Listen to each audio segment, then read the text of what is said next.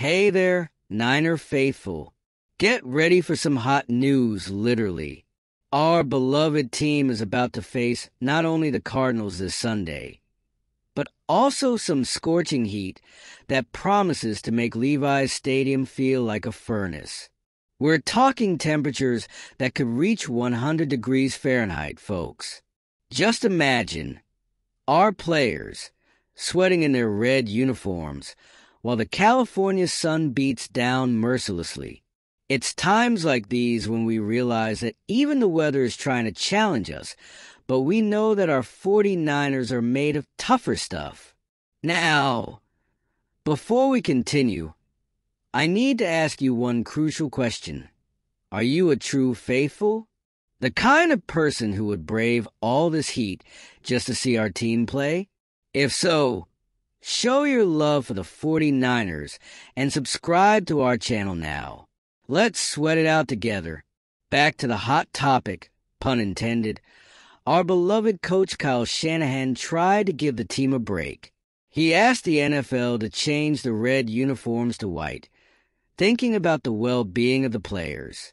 But believe it or not, the league denied the request. Apparently, these changes have to be requested before the start of the season. Who would have thought that the NFL bureaucracy is more inflexible than the Santa Clara thermometer. The most we got was permission to wear white pants with the retro uniforms. It's something, but will it be enough to keep our players cool?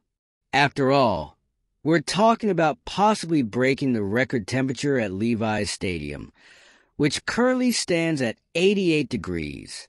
And just think, while the Cardinals hide under the roof of State Farm Stadium when the heat hits in Arizona, our brave 49ers will face the sun head on. But hey, that just proves we're tougher, right? So, Faithful, what do you think about this situation?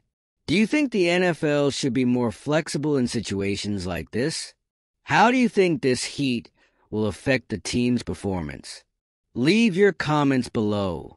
We want to know how you plan to cheer on this sweltering day. Don't forget to share this video with all the 49ers fans you know.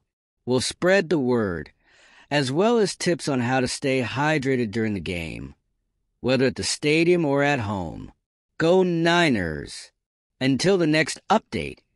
And remember, whether it's hot or cold, our support for the 49ers never stops.